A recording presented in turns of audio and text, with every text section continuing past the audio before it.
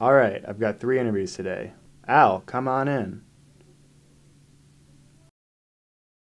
Oh, he seems pretty friendly. Let's get started. Oh, he's wearing a nice suit. I want one like that. I wonder where he got it. His tie really goes with his shirt, too. I wonder what kind of shoes he's wearing. Oh, I'm going to drop my pen so I can see. Okay, nice leather black dress shoes with matching dress socks. Alright, let's get back to business. Man, he's really going on about his strengths and weaknesses. He seems well prepared. I like his beard, too. It's not as patchy as mine when I grow mine out. I wonder how he smells. Hmm, not bad. Not too much, not too little. So tell me about your experience, Al. Wow, he worked at McDonald's and he graduated from a community college? How did he even get this far into the interview process? Okay, I made up my mind. I don't think he's going to be a great fit. He's a well dressed guy, though. Hopefully, I can get a beer with him someday. Abby, please come in. What is she wearing? Okay, I guess I have to treat this as a normal interview. It is my job. Why would you wear this to an interview? Okay, her hair is messy and she is wearing a sweatshirt. What is that smell? And look at her hair. Does she even own a hairbrush? Her resume looks really nice. She was the head professor of the business school and graduated from Harvard.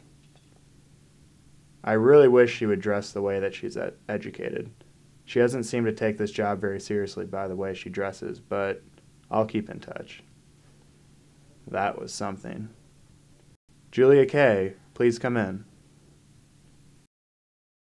Ah, she seems confident. I like her pants. It matches her top.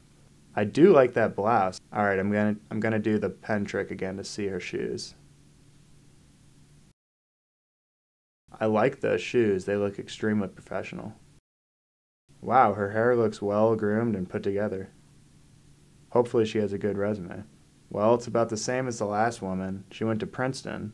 She was the head professor of the business school at Yale. I like her. She seems very qualified. Now it's time to choose. Hmm, let's see. Al was a nice guy and was put together well matching shirt and tie, wearing a suit jacket, great amount of cologne, and a really nice watch. His shoes were also great, but his resume did not fit our standards. Okay, let's look at Abby's. What happened to her resume? It's all crinkled and messy, a lot like her appearance.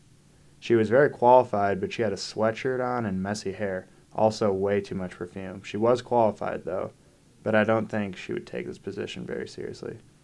All right, Julia Kay. I liked her. Her resume was great. She had professional attire and well managed hair. She had great posture and presented herself well.